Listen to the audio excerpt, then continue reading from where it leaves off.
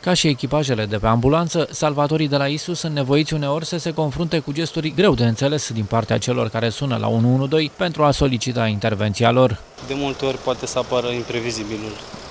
Adică să fiți amenințați, atacați? Da, ni s-au întâmplat și chestii de genul ăsta, chiar am fost uh, amenințați cu cuțitul de un, niște cetățeni și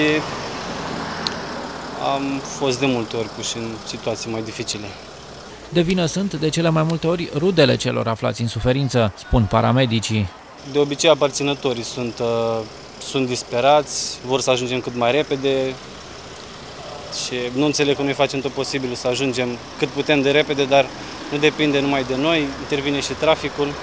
Pompierii nu sunt scutiți nici ei de astfel de incidente. Toamna trecută un echipaj a fost agresat la Câmpina, pompierii fiind îmbrânciți de cei care au chemat să stingă un incendiu și care le-au reproșat că au ajuns prea târziu.